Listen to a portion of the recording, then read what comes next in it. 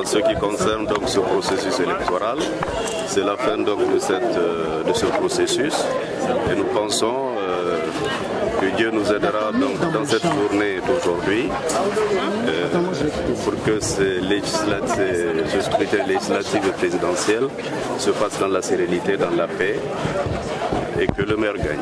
Monsieur le Président, quelle appréciation portez-vous sur la situation qui se déroule actuellement à Tasker?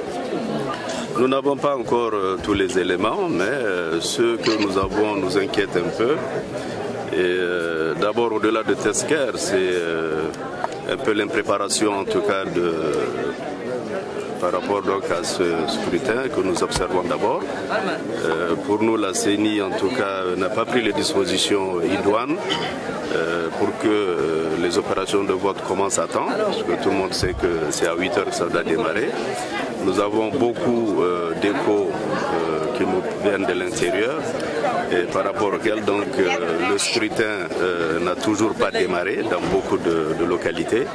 Et cela nous inquiète. Des fois c'est le matériel, des fois c'est les membres du bureau même qui ne sont pas là. les électeurs sont là des fois, les bureaux sont encore fermés.